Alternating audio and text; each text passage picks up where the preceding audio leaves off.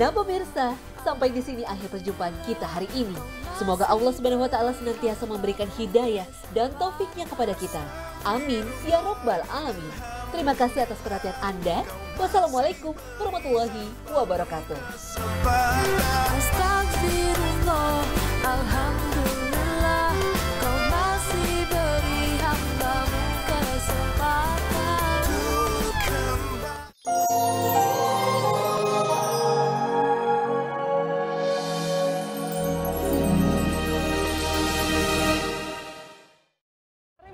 tiba, sejumlah TPS akan menyambut warga yang akan gunakan hak pilih.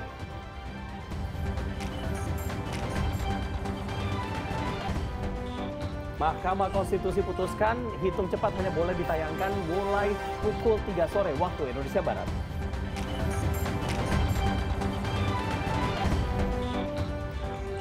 Asiknya mengisi liburan dengan berwisata foto berlatar makanan.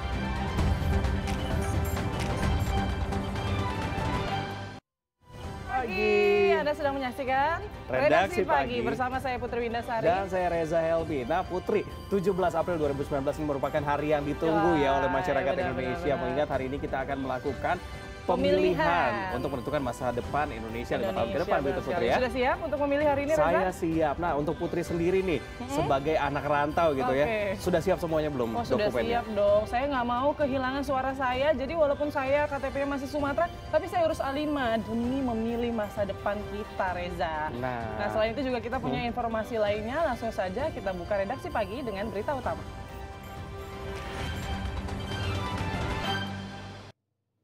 Ya diduga kurang konsentrasi, seorang pengendara motor luka parah di bagian kaki setelah motor yang dikendarainya menghantam beton pembatas jalan di Lodan Raya Ancol, Pademangan, Jakarta Utara. Iya, sementara di Ponorogo, Jawa Timur, kecelakaan karambol yang melibatkan minibus, truk, dan dua sepeda motor terjadi di jalur alternatif penghubung Ponorogo dengan Madiun.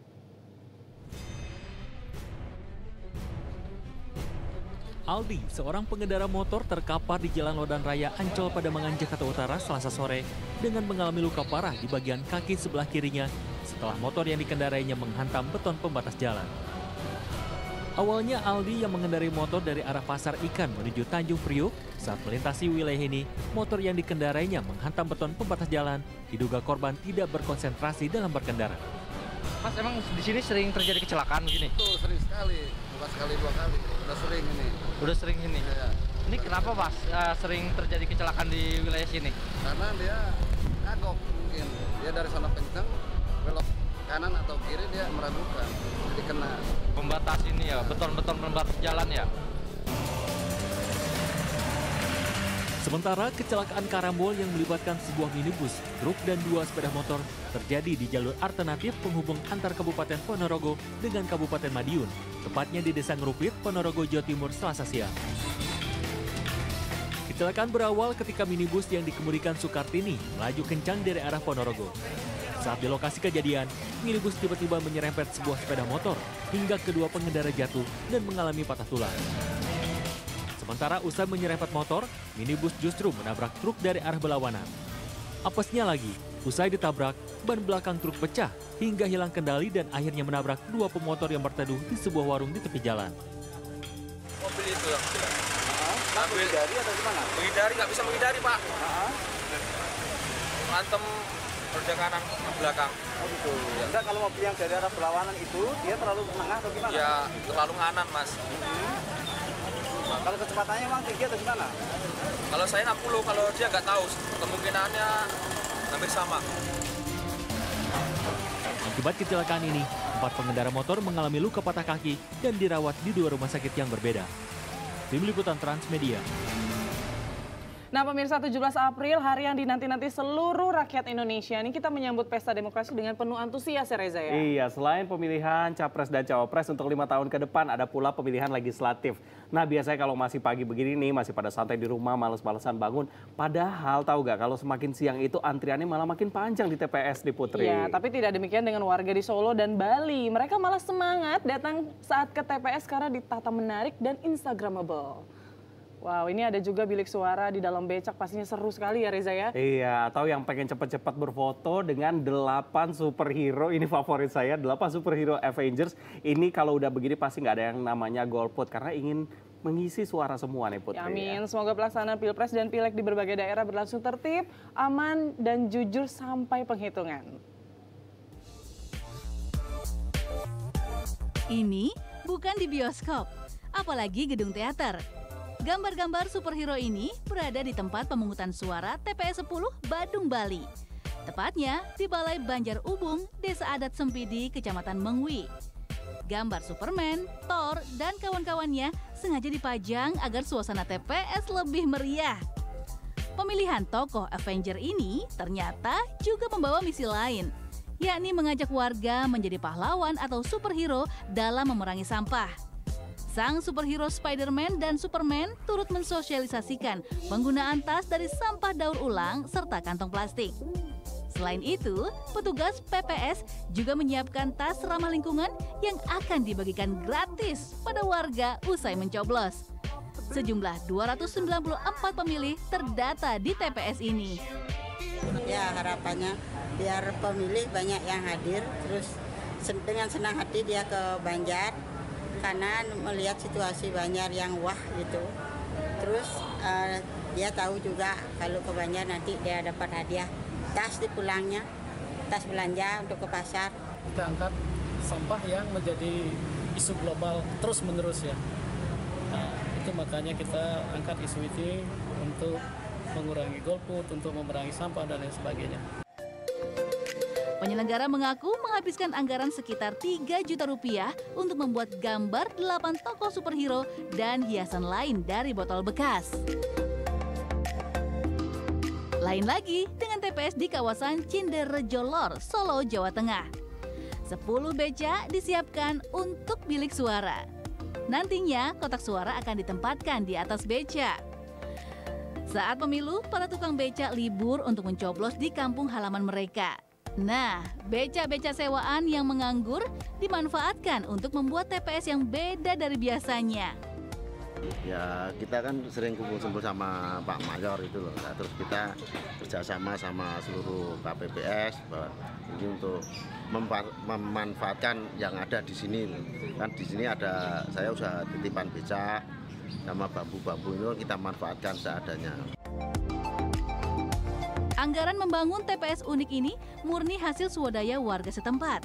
Harapannya warga lebih semangat datang ke TPS, mengurangi golput dan meraup suara 213 DPT secara maksimal. Tim Liputan, Transmedia, Masih terkait informasi pemilu 2019, Mahkamah Konstitusi akhirnya memutuskan menolak gugatan uji materi Undang-Undang Pemilu terkait publikasi hasil hitung cepat pemilu 2019. Ya berdasarkan putusan ini hasil hitung cepat baru boleh ditayangkan mulai pukul 15 waktu Indonesia Barat.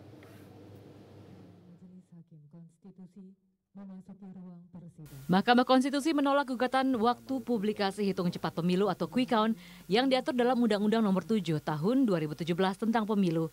Dengan keputusan ini, maka aturan publikasi quick count tetap mengacu pada Undang-Undang Pemilu, yakni dua jam setelah pemilihan di zona waktu Indonesia bagian Barat berakhir. Pemungutan suara di wilayah Indonesia bagian Barat baru rampung pada pukul 13. Ini artinya quick count baru bisa dipublikasikan mulai pukul 15. MK menilai jika hasil quick count langsung dipublikasikan, hal ini dapat mempengaruhi pemilih yang belum menggunakan hak suaranya. Selain itu, MK juga mempertimbangkan kemungkinan lembaga survei dan media yang mempublikasikan berafiliasi dengan pasangan calon tertentu. amar putusan mengadili menolak permohonan pemohon untuk seluruhnya. Demikian diputus dalam rapat permusawaratan hakim oleh sembilan hakim konstitusi Secara prinsip eh, ATVSI dan seluruh penyiaran televisi eh, menerima keputusan tersebut. Namun tentu ada beberapa hal yang eh, menggan- mengganjal pada kami karena dua kali keputusan seperti ini sudah disahkan oleh eh, Mahkamah Konstitusi dalam arti mereka mengizinkan kita melakukan quick count. Quick count adalah perangkat eh, pemilu yang sangat strategis Aturan ini sebelumnya digugat Asosiasi Televisi Swasta Indonesia dan Asosiasi Riset Opini Publik Indonesia. Para pemohon keberatan dengan ketentuan pasal 449 ayat 2 yang mengatur larangan pengumuman hasil survei di masa tenang dan pasal 5 dan 6 tentang penghitungan cepat pemilu hanya boleh dilakukan paling cepat dua jam setelah pemungutan suara selesai di wilayah Indonesia bagian Barat. Bagi pihak yang melanggar ketentuan ini dapat dikenai hukuman pidana. Tim Liputan Transmedia. Nah, hari pencoblosan ini sudah tiba. Kita sambut pesta demokrasi ini dengan sukacita ya Reza ya. Iya betul sekali Putri. Tapi Putri dan juga pemirsa harus tahu nih, ada berapa jumlah surat-suara yang harus dicoblos nantinya? Ada berapa Reza? Ada lima totalnya. Nah, saya akan mengajak Putri dan juga pemirsa untuk lebih memahami lagi panduan untuk mencoblos. Nah, kita lihat dulu nih pemirsa. Jadi total ada lima macam surat suara. Pertama, surat suara pilpres berwarna abu-abu, bentuknya empat persegi panjang dilengkapi dengan foto paslon. Yang kedua kita lihat ada surat suara DPR RI yang ini berwarna kuning. Isinya ada 16 logo partai politik diikuti dengan daftar nama caleg tanpa mencantumkan foto. Nah, yang ketiga ini ada surat suara DPD RI, yakni berwarna merah. Surat suara ini dilengkapi foto caleg dan desainnya berbeda sesuai kuantitas caleg tiap provinsi. Kalau yang keempat ini surat suara DPRD provinsi ini berwarna biru, berisi 16 logo partai beserta daftar calegnya. Nah di Aceh berbeda karena diisi 20 logo partai. Dan yang kelima, surat suara DPRD Kabupaten Kota berwarna hijau. Sama seperti surat DPRD Provinsi, untuk Aceh berbeda karena terdapat tambahan empat partai lokal. Nah, tadi kita sudah mengenal surat suaranya, sekarang tata cara mencoblosnya. Ini surat suara dinyatakan sah jika tercoblos pada kolom yang memuat nomor urut, foto atau nama atau gambar parpol pendukung. Di luar itu maka suara-suara dinyatakan tidak sah. Untuk surat suara DPR atau DPRD Anda bisa mencoblos pada kolom nomor urut parpol, tanda gambar atau pada parpolnya. Atau Anda mencoblos pada nomor urut caleg atau juga nama caleg. Di luar itu maka dinyatakan tidak sah nih Putri. Nah yang terakhir untuk Anda warga yang menggunakan form A5 atau surat permohonan pindah pilih, maka Anda bisa menyalurkan hak pilih dari domisili alamat di KTP ke lokasi tujuan Anda. Namun untuk itu Anda hanya bisa menggunakan hak pilih pada surat suara pilpres atau memilih presiden. Sementara untuk pemilihan legislatif lainnya dianggap hangus. Pemungutan suaranya bagi DPK atau daftar pemilih khusus diperbolehkan setelah pukul 12 siang atau satu jam sebelum pemungutan suara berakhir. Nah, pemirsa selain TPS, keluarga Jokowi dan juga TPS tempat Prabowo pencoblos ini ada juga tim kami yang berada di Denpasar, Bali. Jadi nanti kita akan cek kedua tempat tadi, Putri ya. Iya benar, ini ada Nyoman Wiryadinata yang berada di TPS di Denpasar, Bali. Kita langsung saja menyapa Nyoman. Nyoman, bagaimana persiapan TPS di Denpasar, Bali? Iya, Reza dan Putri, saya memang berada di uh, TPS yang berada di Balai Banjar Padang Subuklot di Kecamatan Denpasar Barat di Denpasar. Memang saat ini sudah dilakukan proses pemilihan suara, artinya warga sudah mulai mendatangkan mendatangi TPS-TPS dan sudah melakukan pendaftaran dan mulai melakukan pencoblosan. Memang sejak pukul 5 tadi pagi pihak panitia pemilihan setempat sudah bersiap-siap dan melakukan menerima bilik uh, kotak suara yang dibagikan hari ini oleh pemilihan atau panitia pemilihan yang berada di kelurahan maupun desa yang ada di Denpasar ini. Di tempat ini ada dua TPS yang akan melayani sekitar 400 warga, masing-masing akan 200 di TPS yang satu kemudian yang satu lagi 200 uh, eh, orang yang akan uh, melakukan pemilihan. Sebagai gambaran Reza dan Putri memang ada sekitar 3 juta 208 ribu 249 orang yang akan mempunyai uh, hak pilih terdaftar dalam daftar pemilih tetap dibagi menjadi 12.215 eh, tempat pemungutan suara. Dan memang pagi ini memang akan dilakukan proses ini dan sudah warga juga sudah datang dengan mengenakan pakaian adat ringan sesuai dengan uh, kebiasaan yang dilakukan warga yang ada di Pulau Bali ini. Tidak hanya itu memang panitia ataupun pihak keamanan juga disiapkan. Tidak hanya keamanan dari pihak kepolisian, namun juga pihak keamanan dari pecalang yang ada di Banjar ini. Resa dan Putri. Baik, terima kasih atas laporannya Nyoman Wirya Dinata dari Denpasar Bali. Selamat bertugas kembali. Ya, semoga ya Reza pemilihan di sana berjalan lancar ya, kita harapkan seperti itu. Iya, kalau di waktu Indonesia Barat memang belum pukul 7 begitu ya. ya. Jadi untuk di waktu Indonesia Tengah tadi sudah. pemilihan sudah dimulai ya, begitu Putri benar ya. sekali. Nah ya. ini persiapan jelang pemilu 2019 Ini kita masih akan terus memberikan update informasinya. Tadi kita sudah mulai dari Denpasar Bali. Ya. Nanti kita akan bahas juga dari beberapa tempat ya Putri. Ya, nanti pasti akan ada salah satunya dari TPS Pak Jokowi nih. TPS Pak Jokowi Dan di juga- Solo. Nanti rencananya juga akan ada dari tempatnya Pak Prabowo begitu ya Begitu, di sekali. Hambalang. Dan memang kita sangat berharap nanti ini jalannya Pilpres ini nanti akan tetap damai. Nanti siapa pun yang akan menjadi pemenangnya ataupun siapa pun yang terpilih nantinya presidennya akan memang menjadi pemimpin yang baik dan kita harus dukung ya sebagai masyarakat. Iya. Siapa pun nanti yang menang saya pasti akan dukung. Kita doakan untuk kebaikan Indonesia bersama. Iya betul sekali Putri. Dan pemirsa beragam informasi khusus akan kami berikan untuk Anda yang Ya. berada di wilayah Jawa Barat dan Jawa Timur. Ya, sementara bagi Anda di wilayah lainnya jangan lewatkan informasi dugaan kasus bayi tertukar di Surabaya, Jawa Timur. Informasinya sesaat lagi tetaplah di redaksi pagi.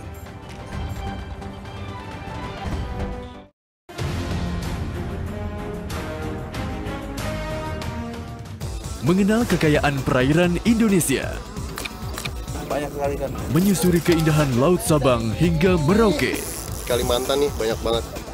Raja Ampat, mantap! Dengan sensasinya tersendiri yang menggairahkan. Untuk menguras tenaga, Astro. Narik babon.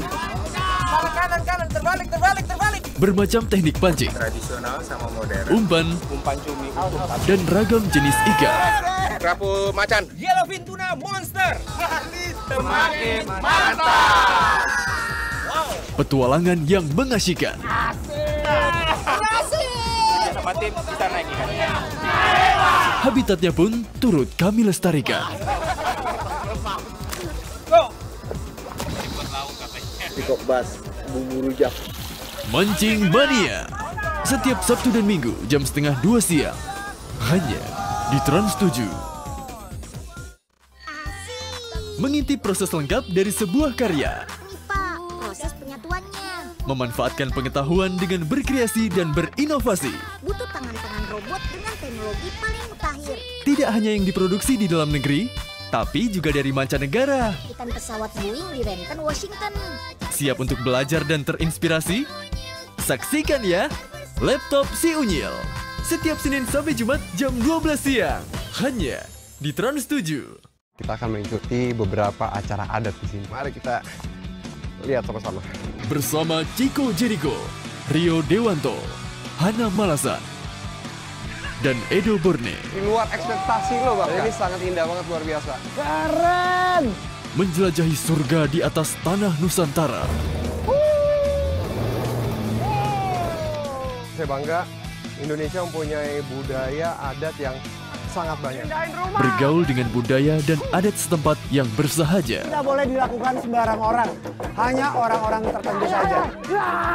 Meriah sekali di sini. Mencintai Indonesia dengan menapaki pesonanya. Eksplorasi suasana baru yang seru. Wah seru banget nih. Ikuti ke mana alam membawa mereka. Ikuti jejak saya. Jejak Petualang Weekend.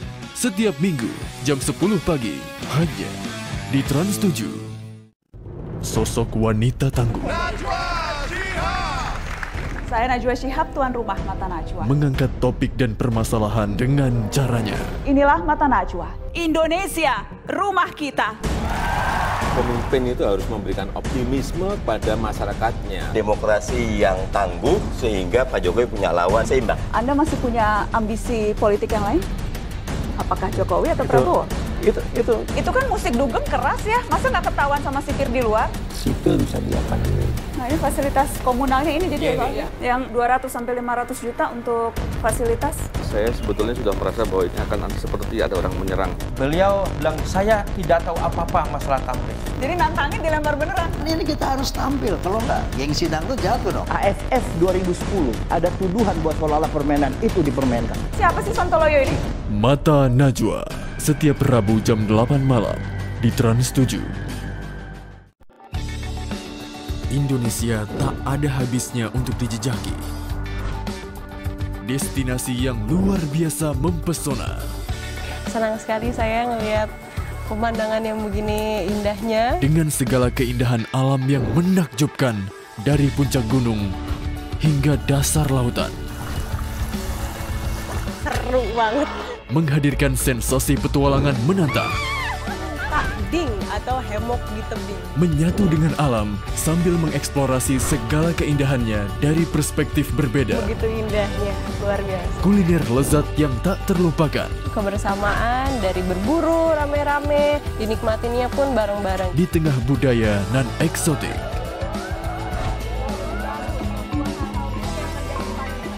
Jejak Petualang.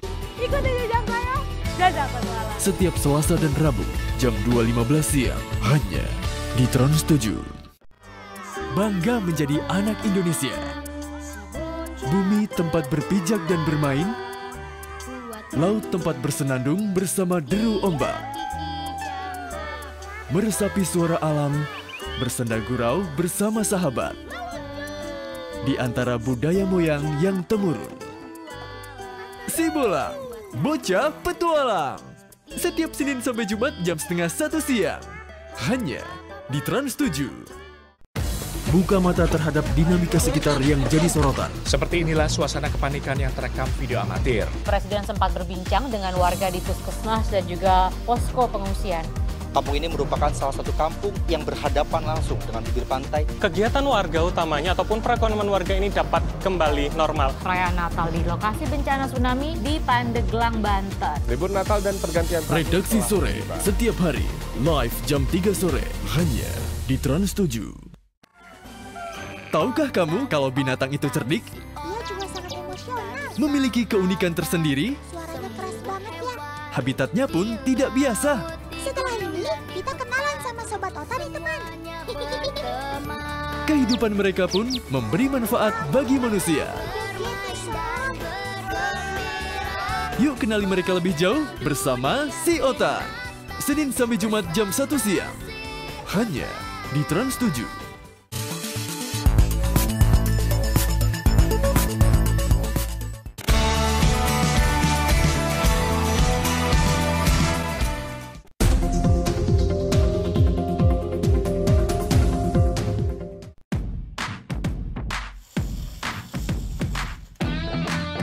Mempererat tali persahabatan di tengah perjalanan mengagumi Nusantara.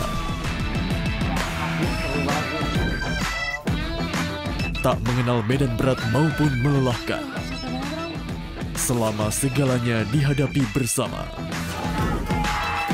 The Tour Rangers. Setiap Sabtu jam 10 pagi. Hanya di Trans 7.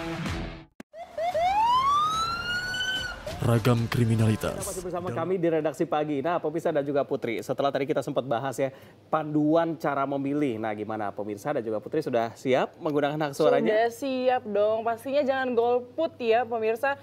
Harus menerima siapa yang menang ataupun kalah. Ini kan namanya demokrasi ya Iya, ya. betul sekali Putri. Nah, sekarang kita juga ingin tahu nih bagaimana persiapan di tempat pemungutan suara TPS. Sudah ada beberapa rekan kita yang ada di TPS nih Putri. Iya, ada Hendrawan Setiawan yang berada di TPS 38 di Manahan, Solo, tempat keluarga Jokowi mencoblos. Lalu ada Ausirio Ndolu di Hambalang di TPS 41, di mana Prabowo Subianto akan mencoblos. Kita lebih dulu ke Hendrawan yang ada di Solo ya. Silahkan Hendrawan dengan laporan Anda seperti apa persiapan di sana? Ya Reza dan Putri TPS 38 di Kampung Tirtoyoso RT 4 RW 13 eh, Banjarsari eh, Manahan So- Solo Jawa Tengah ini menjadi perhatian karena nanti rencananya di TPS ini akan dilakukan pemungutan suara atau pencoblosan oleh empat orang anggota keluarga Joko Widodo yaitu Ibunda Jokowi Sujiatmi Notomi Harjo kemudian dua orang putra Jokowi eh, Gibran Raka Buming Rasa- Raka dan Kaisang Pangarep dan satu lagi adalah eh, Selvi Ananda atau istri dari Gibran Raka Buming Raka. Dan eh, informasi sementara yang kami peroleh dari pihak eh, KPPS eh, Sunarso mengatakan tidak ada perlakuan khusus kepada eh, keluarga Jokowi. Mereka akan dilayani seperti pemilih-pemilih yang lain. Dan bila eh, kita melihat eh, atau jam berapa mereka akan datang memang belum ada informasi pasti. Namun bila kita melihat pada pemilu 2014 lalu mereka datang sekitar pukul 10 waktu Indonesia Barat. Dan eh, sementara itu eh, dua nama lain misalnya eh, Kahiyang Ayu dan suaminya Bobi tidak terdaftar di DPT di TPS 38 ini. Kita nantikan jam berapa mereka atau keluarga Jokowi ini akan tiba di TPS 38 ini Reza dan Putri Baik, terima kasih atas laporannya Hendrawan. Sekarang kita akan menuju ke Ausirion dulu yang sudah berada di TPS tempat Prabowo mencoblos ya. Iya, bagaimana? Halo Rio, selamat pagi. Kita masih mencoba menghubungi. Menghubungi Rio. Selamat pagi, Rio. Nah, ini sepertinya Ya. sudah tampak ya, Putri ya. Ya, Rio, seperti apa persiapan di sana? Reza dan juga Putri, tepat di belakang saya ini merupakan uh, sudah terlihat tenda dengan uh, nuansa merah putih yang nantinya akan digunakan dengan uh, de- untuk uh, tempat pemungutan suara dengan nomor urut 41 uh, di Desa Bojongkoneng, Kecamatan uh, Babakan Madang di Kabupaten Bogor, Provinsi Jawa Barat, di mana dengan uh, TPS nomor urut 41 ini akan digunakan oleh Capres nomor urut 02 Prabowo Subianto untuk menyampaikan hak suaranya. Jika kita melihat kembali lokasi dan juga kondisi geografis uh, lokasi ini, ini memang uh, lokasi TPS ini tidak uh, begitu jauh dengan kediaman Prabowo Subianto, di mana Prabowo Subianto uh, um, uh, kediamannya uh, berjarak sekitar 500 hingga 1 kilometer uh, jaraknya dari lokasi TPS ini. Dan memang uh, lokasi TPS ini memang juga digunakan pada Pilpres 2014 silam dan juga Pilgub 2018 yang lalu di mana pada saat itu Prabowo Subianto datang ke lokasi ini sekitar pada pukul 10 pagi waktu Indonesia Barat. Dan namun pada hari ini Prabowo dijadwalkan untuk uh, hadir di uh, TPS dengan nomor urut 41 ini pada pukul 7 pagi waktu Indonesia Barat. Ini artinya Prabowo akan uh, datang bersamaan dengan dibukanya tempat pemungutan suara nomor urut 41 dan nantinya ia akan bersama-sama dengan warga yang berada di Desa Bojongkoneng ini untuk menyampa untuk bersama-sama menyampaikan hak suaranya. Jika kita ingat kembali pada Pilpres 2014 yang, uh, yang lalu, bagaimana Prabowo didampingi oleh anak sulungnya uh, Didit Prabowo dan juga uh, Fadlizon uh, dan juga Ahmad Muzani yang merupakan sekjen Gerindra. Nanti informasi dari informasi yang kami dapatkan, Prabowo nanti akan didampingi oleh Fadlizon yang, yang merupakan wakil ketua umum Gerindra, uh, di mana ia akan datang sekitar pada pukul 7 pagi waktu Indonesia Barat untuk menyampaikan hak uh, suaranya. Dan memang Prabowo pada saat ini masih berada di kediamannya di Hambalang. Bagaimana ia uh, mengawali kegiatannya dengan sholat subuh, uh, lalu kemudian ia akan datang nanti uh, bersama dengan pengawalan khusus menuju TPS nomor 41. Kita akan lihat kembali, um, kita akan menunggu dan juga akan mengikuti perkembangan yang berada di TPS dengan nomor 41 ini. Uh, mari kita nantikan bersama, Reza dan juga Putri. Baik, terima kasih Ausirion dulu atas laporannya dan selamat bertugas kembali. Jangan lupa untuk gunakan hak suaranya ya. Nah ini Putri benar-benar hari bersejarah hari ini ya. Iya, Melihat benar. bagaimana persiapan tadi, tapi selain informasi mengenai pemilu, kita juga punya informasi lain nih. Mengenai aksi penyeludupan 20 ribu bayi lobster lewat laut kawasan Tanjung Jabung, Jambi yang digagalkan petugas TNI Angkatan Laut. Ada 20 ribu bayi lobster ini senilai 3,5 miliar rupiah. Iya benar sekali. Dan aksi warga merusak minibus yang berupaya kabur usai menabrak dua pemotor di Jakarta pada Rabu dini hari tadi akan membuka Indonesia 24 jam hari ini.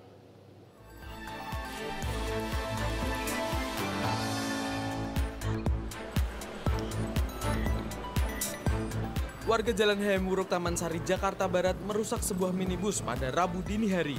Warga emosi lantaran pengemudi bus mencoba kabur setelah menabrak dua pemotor. Akibat aksi warga, minibus yang dikemudikan seorang wanita itu rusak.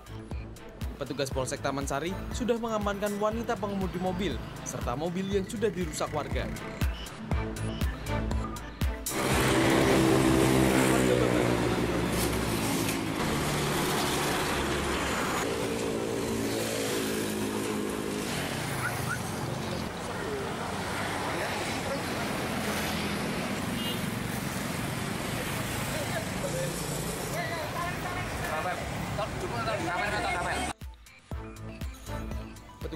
Pengamatan TNI Angkatan Laut Nipah Panjang menggagalkan rencana penyelundupan 20.000 baby lobster ke luar negeri. Seluruh baby lobster itu diduga didatangkan dari luar Kabupaten Tanjung Jabung Timur Jambi. Baby lobster yang akan diselundupkan dikemas dalam 10 box styrofoam. 5 box styrofoam berisi baby lobster jenis mutiara dan 5 box styrofoam berisi baby lobster jenis pasir. Total jumlah baby lobster jenis mutiara sebanyak 10.000 ekor dan total jumlah baby lobster jenis pasir sebanyak 10.000 ekor. Dari seluruh barang bukti yang ditemukan ditaksir memiliki nilai barang 3,5 miliar rupiah. Tim Liputan Trans 7. Dan kita ke informasi kasus dugaan pencabulan 14 siswi SD di Sopeng, Sulawesi Selatan oleh oknum kepala sekolahnya. Hingga kini kasus masih terus didalami terkait adanya korban lainnya. Ya orang tua para korban menangis minta keadilan hukum. Sementara para pelaku saat ini diamankan di Polres Sopeng guna penyelidikan lebih lanjut. Beginilah isak tangis orang tua korban pencabulan ketika melihat langsung wajah pelaku yang datang ke ruang pemeriksaan unit PPA Polres Sopeng, Sulawesi Selatan. Para orang tua korban datang dan didampingi pegawai dari Dinas Perlindungan Anak Kabupaten Sopeng pada Senin 15 April kemarin. Orang tua korban pencabulan tidak pernah menyangka jika seorang oknum kepala sekolah yang selama ini dihormati dan disegani di kampungnya itu tega melakukan tindakan tidak senonoh yang sangat tidak terpuji. Kasus ini terungkap dari laporan sejumlah korban lainnya yang kemudian juga ikut diakui anaknya. Tiga orang anaknya pun mengaku pernah mendapatkan perlakuan tak senonoh yang telah lama dirahasiakannya dan kini mengakibatkan trauma berat. Eh, anak tetangga saya cerita, dibilang kepala sekolah begini, melecehkan anak sekolah. Ya. Saya bilang saya tidak percaya, karena kepala sekolah saya percaya sekali. Ya. Tapi kenapa anak, anak saya dilecehkan begini? Senada dengan pengakuan orang tua korban lainnya, kepala sekolah yang sejak 2013 lalu ini menjabat di SD Tadang Palinge, Desa Timusu, Lili Riaja Sopeng ini dikenal berpenampilan baik. Masyarakat pun menaruh hormat kepada pelaku. Saat ini, pelaku diamankan di Mako Polres Sopeng guna tindak penyelidikan lebih lanjut. Jika terbukti bersalah, pelaku terancam dengan pasal 82 dan 76 Undang-Undang Perlindungan Anak dengan ancaman hukuman 15 tahun penjara. Zulkifli Natsir, Sopeng, Sulawesi Selatan. Informasi berikutnya pemirsa ini diduga bayinya tertukar saat melahirkan di Rumah Sakit Umum Dr. Sutomo Surabaya, Jawa Timur. Sepasang suami istri hingga kini masih terus mempertanyakan kejelasan bayinya pada pihak rumah sakit. Ya, kasus ini memang agak janggal ya Reza. Pasalnya usai melahirkan sang ibu mengaku sempat diberitahu perawat bahwa bayinya adalah perempuan. Namun saat dipertemukan dua hari kemudian sang bayi justru berjenis, berjenis kelamin laki-laki. Iya, betul sekali Putri ini dan terkait hal ini pihak rumah sakit menyangkal bila bayi telah tertukar lantaran semua tindakan sudah berdasarkan proses prosedur. Tim dokter Rumah Sakit Dr. Sutomo Surabaya, Jawa Timur secara tegas menyangkal tudingan telah terjadinya kesalahan prosedur yang menyebabkan kasus bayi tertukar dan siap mempertanggungjawabkannya secara medis. Berdasarkan penyelidikan dokumen rekam medis dan petugas medis yang bertugas, proses persalinan bayi lewat operasi sesar pada 12 April 2019 itu dilakukan secara emergensi. Karenanya, usai persalinan pihak perawat diketahui tidak pernah memberitahukan jenis kelamin bayi pada sang ibu lantaran masih dalam kondisi dibius total. Pihak rumah sakit menduga ada kesalahpahaman informasi antara perawat dengan pihak keluarga. Ada kemungkinan perawat salah ngomong atau petugas lain yang salah ngomong itu pasti ada, gitu ya. Karena uh, cuman ini masalahnya kan bayi lahir itu kan tidak langsung punya nama ya hmm. tidak langsung punya nama supaya tidak tertukar jadi kan sementara dia belum punya nama dibikinlah nama ibunya ibunya kan perempuan ya Kasus dugaan bayi tertukar di Rumah Sakit Dr. Sutomo Surabaya Jawa Timur ini mencuat setelah pasangan suami istri Mukti 55 tahun dan Siti Romla 44 tahun mempertanyakan perbedaan informasi yang diberikan petugas medis terkait jenis kelamin anaknya. Keluarga juga mempertanyakan mengapa setelah kelahiran baik sang ibu ataupun sang ayah tidak langsung dipertemukan dengan bayi, melainkan baru dua hari kemudian. Kalau mau, mau masuk itu tidak boleh, disuruh tunggu di luar. Pak, harapannya sekarang itu apa Pak? Harapannya itu Ya, ya saya nggak memang mau, mau ingin perempuan, cek lahir pertamanya itu perempuan sekarang ganti laki-laki nggak mau saya Hingga kini pihak rumah sakit masih menunggu pihak keluarga pasien untuk melakukan mediasi dan menjelaskan hasil pemeriksaan tim dokter terkait kasus ini. Sementara kondisi bayi dalam kondisi sehat dan masih dalam perawatan pasca dilahirkan. Tribroto Purnawanto, Surabaya, Jawa Timur. Ijib-ijib penuh kenikmatan roti khas negeri ginseng Korea, Goran Back. Sesaat lagi redaksi pagi segera kembali.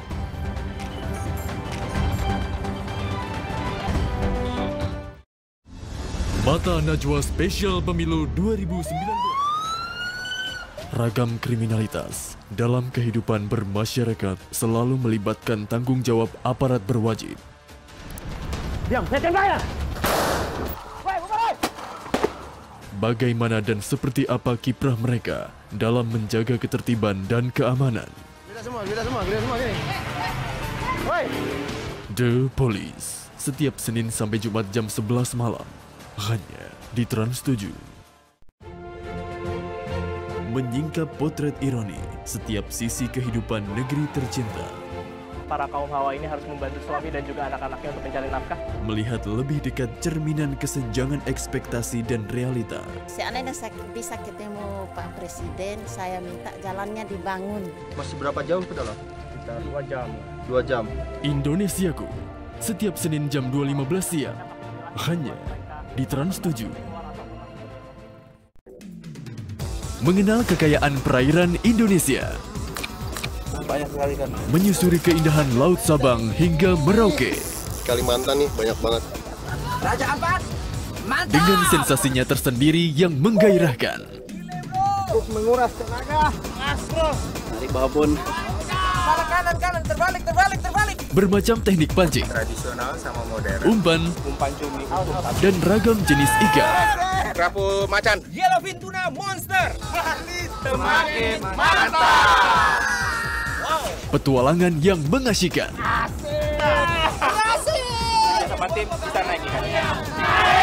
Habitatnya pun turut kami lestarikan. Pikok bas. Bumbu rujak. Mancing Mania. Setiap Sabtu dan Minggu jam setengah dua siang. Hanya di Trans 7. Mengintip proses lengkap dari sebuah karya. Proses penyatuannya. Memanfaatkan pengetahuan dengan berkreasi dan berinovasi. Butuh tangan-tangan robot dengan teknologi paling mutakhir. Tidak hanya yang diproduksi di dalam negeri, tapi juga dari mancanegara. Ikan pesawat Boeing di Renton, Washington. Siap untuk belajar dan terinspirasi? Saksikan ya, Laptop Si Unyil. Setiap Senin sampai Jumat jam 12 siang. Hanya di Trans 7. Kita akan mengikuti beberapa acara adat di sini. Mari kita lihat sama-sama. Bersama Chico Jericho, Rio Dewanto, Hana Malasan, dan Edo Borne. Di luar ekspektasi lo bang. Ini sangat indah banget luar biasa. Keren! Menjelajahi surga di atas tanah Nusantara. Saya bangga Indonesia mempunyai budaya adat yang sangat banyak. Bergaul dengan budaya dan adat setempat yang bersahaja. Tidak boleh dilakukan sembarang orang, hanya orang-orang tertentu saja. Meriah sekali di sini. Mencintai Indonesia dengan menapaki pesonanya. Eksplorasi suasana baru yang seru. Wah, seru banget nih. Ikuti ke mana alam membawa mereka. Ikuti jejak saya. Jejak Jejak Petualang Weekend setiap minggu jam 10 pagi hanya di Trans 7. Sosok wanita tangguh Saya Najwa Shihab, tuan rumah Mata Najwa. mengangkat topik dan permasalahan dengan caranya. Inilah Mata Najwa. Indonesia, rumah kita. Pemimpin itu harus memberikan optimisme pada masyarakatnya. Demokrasi yang tangguh sehingga Pak Jokowi punya lawan seimbang. Anda masih punya ambisi politik yang lain? Apakah Jokowi atau Prabowo? Itu itu Itu kan musik dugem keras ya, masa nggak ketahuan sama sipir di luar? sipil bisa dulu. Nah ini fasilitas komunalnya ini jadi Iya, ya Pak? iya. Yang 200 sampai 500 juta untuk fasilitas. Saya sebetulnya sudah merasa bahwa ini akan nanti seperti ada orang menyerang. Beliau bilang, saya tidak tahu apa-apa masalah tampil. Jadi nantangin dilempar beneran. Ini kita harus tampil, kalau enggak, geng sidang tuh jatuh dong. AFF 2010, ada tuduhan buat seolah-olah permainan itu dipermainkan. Siapa sih Sontoloyo ini? Mata Najwa setiap Rabu jam 8 malam di Trans 7. Indonesia tak ada habisnya untuk dijejaki. Destinasi yang luar biasa mempesona. Senang sekali saya ngelihat pemandangan yang begini indahnya. Dengan segala keindahan alam yang menakjubkan dari puncak gunung hingga dasar lautan. Seru banget. Menghadirkan sensasi petualangan menantang. Riding atau hemok di tebing. Menyatu dengan alam sambil mengeksplorasi segala keindahannya dari perspektif berbeda. Begitu indahnya, luar biasa. Kuliner lezat yang tak terlupakan. Kebersamaan dari berburu rame-rame, dinikmatinya pun bareng-bareng. Di tengah budaya nan eksotik.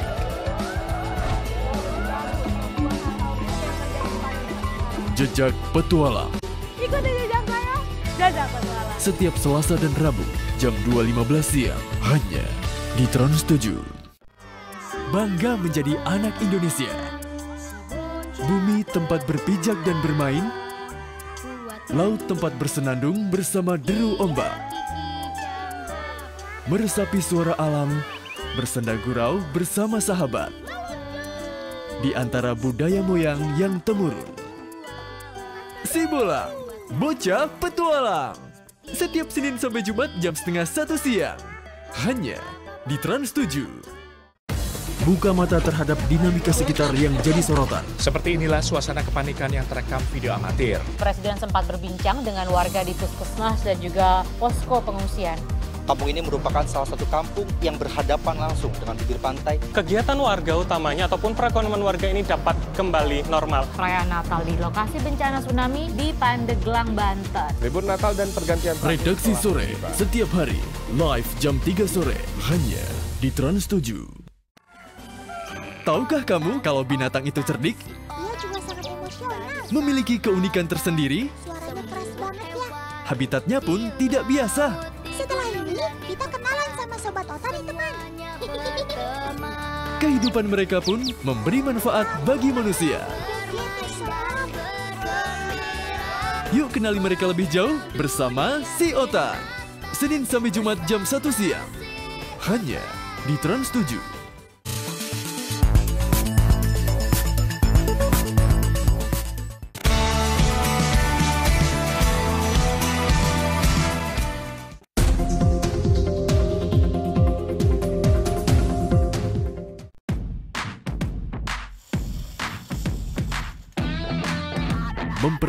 Tali persahabatan di tengah perjalanan mengagumi Nusantara. Tak mengenal medan berat maupun melelahkan. Selama segalanya dihadapi bersama. The Tour Rangers. Setiap Sabtu jam 10 pagi. Hanya di Trans 7. Ragam kriminalitas dalam kehidupan bermasyarakat selalu melibatkan tanggung jawab aparat berwajib. Diam, saya saya. Bagaimana dan seperti apa kiprah mereka dalam menjaga ketertiban dan keamanan. Semua, semua, semua. Woi. The Police. Setiap Senin sampai Jumat jam 11 malam. Hanya di Trans 7. Kembali lagi di redaksi pagi. Nah Reza, kalau ke Jogja biasanya kamu sering ke mana nih yang buat biasa dikunjungi? Oke, ibarat film ADC, Mm-mm. pasti yang standar-standar aja put. Candi Prambanan, Keraton, Museum Malioboro, Pasar Beringharjo, makan-makan yang enak, banyak lah pokoknya. Tapi- Kamu ajak saya ke sana. Tapi kamu pernah berkunjung ke tempat donat mungkin? Ya, jauh-jauh di Jakarta mah juga banyak donat. Ngapain jauh-jauh ke sana? Lah ini donatnya lain karena besar-besar nih donatnya. Sebesar apa coba donatnya sebesar apa? Nah kamu penasaran kan? Kita simak liputannya.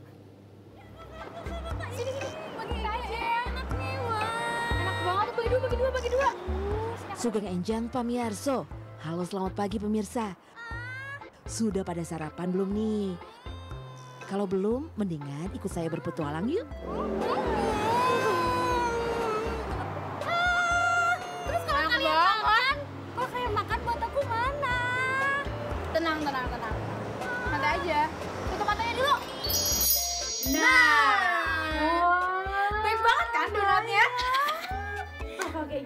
Foto-foto. Ayo foto-foto, foto.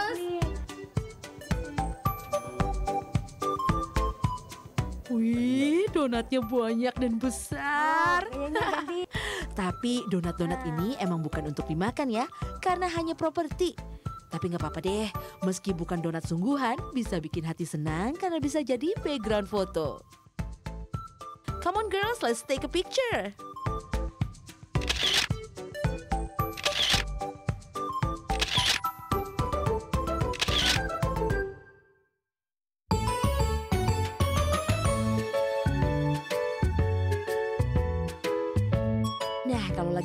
Jogja, boleh nih cobain wisata foto selfie di sini. Wisata foto selfie ini baru aja buka pada Oktober 2018 lalu. Konsepnya instagenik, jadi setiap spot foto adalah mengusung tema kegemaran anak muda atau milenial. Di sini hampir semua spot foto adalah bertema snack. Selain donat yang tadi, ada juga makarun dan juga permen. Melakukan selfie bukan sekedar mengambil foto biasa ya pemirsa. Ada beberapa tips biar selfie-nya bisa bagus. Apalagi saat mau dipajang di sosial media. Pastinya pengen gambar yang terbaik kan? Nah ini nih ada tips singkat untuk membuat selfie makin cepat. Saat melakukan selfie, pastikan tangan memegang smartphone dengan mantap. Supaya hasil gambarnya tidak goyah dan tidak kabur. Biar fotonya juga makin ciamik, jangan lupa gunakan properti untuk menghias tampilan wajah. Selain makarun dan permen, ada juga nih properti belasan kue coklat yang digantung. Kita cobain dengan gaya yang berbeda ya. Kalau masih kurang pas, masih ada nih popcorn yang ukurannya super jumbo. Come on, kita foto rame-rame. Selain spot makanan, ada juga spot yang bukan makanan. Kolam bola ini nih contohnya. Tapi ingat, kalau mau berfoto di dalam kolam bola, usahakan memakai pakaian berwarna cerah ya, supaya nggak kebanting sama background bolanya.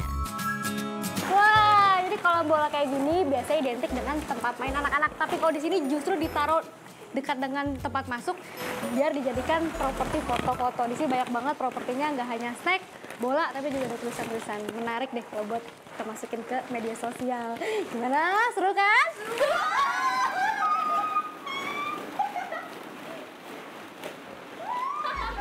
Wah, jadi ini nih pewarna yang akan nyala di tempat yang gelap. Gimana mau dibuktiin? Boleh, boleh pakai sekarang. Oke, sekarang mau warna apa kamu? Aku mau warna ungu. Oke. Aku kuning, kuning, kuning. Kamu kuning saja. Udah, nanti yang ini gantian ya. Oke. Ya, nanti kita warnain di tangan kita. Cat yang saya pakai ini adalah cat temporary atau non permanen. Teksturnya cair dan dapat dilukiskan di seluruh kulit tubuh. Gak perlu khawatir lah, hasil sapuan catnya bisa dihapus dengan menggunakan tisu basah kok. Neon Park ini adalah tempat yang dihiasi lampu neon warna-warni sebagai background foto.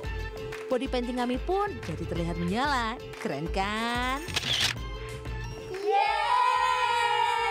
Gimana? Nyala kan? Glow in the dark. Keren kan?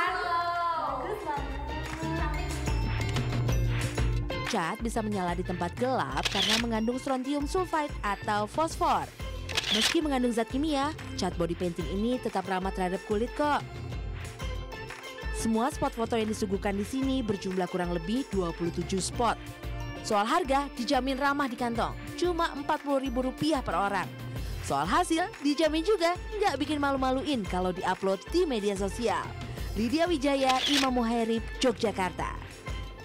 Nah setelah seru-seruan foto dengan latar makanan, Putri kamu mau gak foto dengan kambing yang pura-pura mati? Waduh, gimana tuh pura-pura mati? Kok bisa kambing pura-pura mati? Setahu saya paling manusia mungkin yang pura-pura mati ada kali ya. Kalau ditagih utang Kalau ditagih gitu utang, ya. ya. Sekali. Emang gimana tuh Reza? Kok bisa pura-pura mati? Jadi kambing ini spesial, jenisnya mytonic namanya. Kalau Hah? dikagetkan tubuhnya bisa kaku begitu seperti kambing yang mati. Nah Putri penasaran seperti apa? Saya penasaran, Penasaran. banget mau lihat langsung kita lihat nih liputan berikut ini. Hmm, siapa yang tidak kaget dan panik ketika ada yang iseng memberikan kejutan seperti ini? Mas atau justru pingsan? Tapi ternyata kambing juga ada loh yang kagetan, bahkan sampai membuatnya kaku selama beberapa saat. Lihat saja kambing-kambing ini. Saat kaget, jenis kambing yang disebut kambing pingsan ini bisa tiba-tiba terjatuh sampai keempat kakinya terangkat ke atas. Ada juga yang mengatakan kalau mereka sebenarnya tidak kaget dan hanya sebagai bentuk perlindungan dengan berpura-pura mati. Lucunya, tak sampai hitungan menit, kambing-kambing ini bisa langsung berdiri dan berlari lagi. Dikutip dari laman livestockkonservasi.org, kambing pingsan sebenarnya tidak kehilangan kesadaran dan tidak merasakan sakit. Mereka kaku karena ketakutan, sebuah kondisi genetika yang disebut myotonia kognitika yang menyebabkan otot mereka tiba-tiba kaku. Kambing miotonik pertama kali muncul di negara bagian Tennessee, Amerika Serikat pada 1880-an. Kambing-kambing itu merupakan milik seorang pekerja pertanian bernama John Tinsley. Namun hingga kini tak ada yang tahu dari mana Tinsley mendapatkan kambing-kambing itu. Hmm, ada-ada aja ya.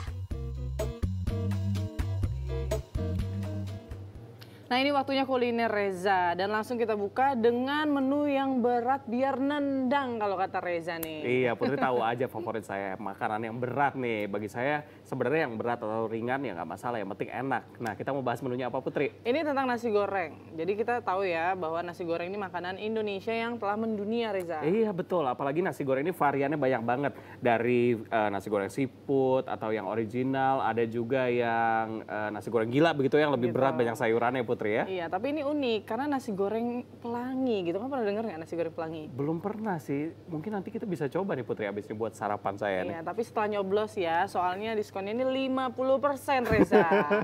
nah, seperti menarik ya seperti apa? Kita lihat. Ya boleh kita lihat yang ini. nih. Nasi goreng adalah masakan asli Indonesia yang bisa ditemukan dari Sabang sampai Merauke. Nasi goreng pun bervariasi dari soal rasa sampai tampilan. Di Sidoarjo, Jawa Timur ini contohnya, sebuah kedai makanan memasarkan nasi goreng pelangi. Disebut pelangi karena dari sisi penampilannya terlihat beraneka ragam warna layaknya pelangi. Bumbu dasar nasi goreng pelangi pada prinsipnya sama seperti nasi goreng pada umumnya. Ada gula, garam, dan juga bawang putih.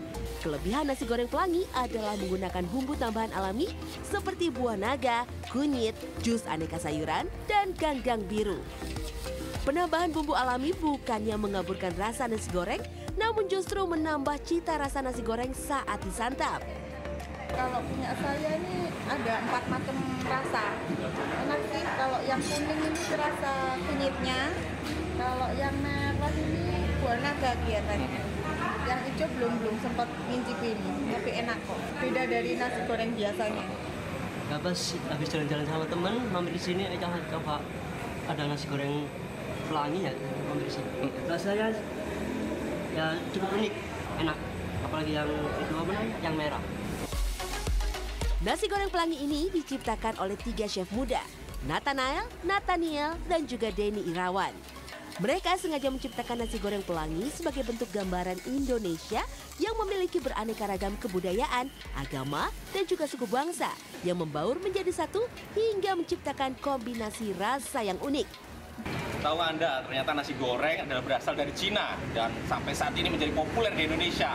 Dan pernah dilakukan polling oleh CNN Indonesia tentang makanan terenak yang ada di dunia. Nasi goreng menempati urutan kedua setelah rendang.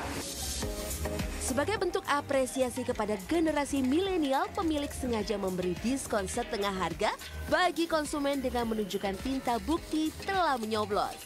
nasi goreng itu kayak gitu-gitu aja. Nah, kita sadar kita itu orang Indonesia. Nah, yang di mana orang Indonesia itu hampir sama-sama pelangi.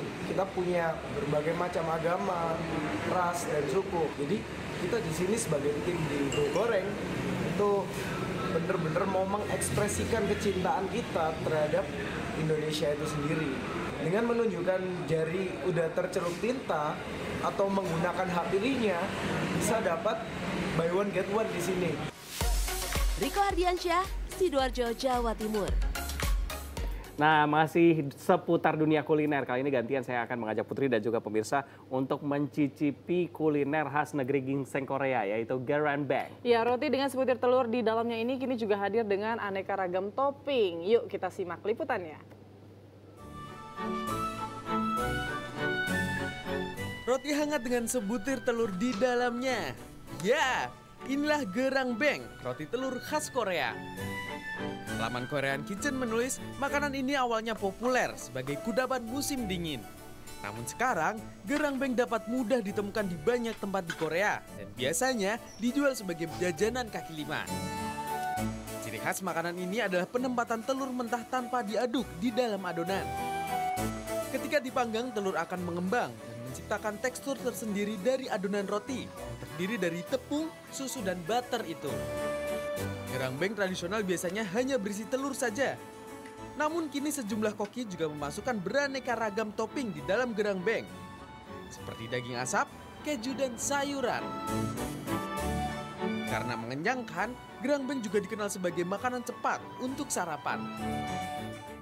ya, Putri empat hari lagi kan hari Kartinian. Kira-kira kamu nanti mau pakai apa?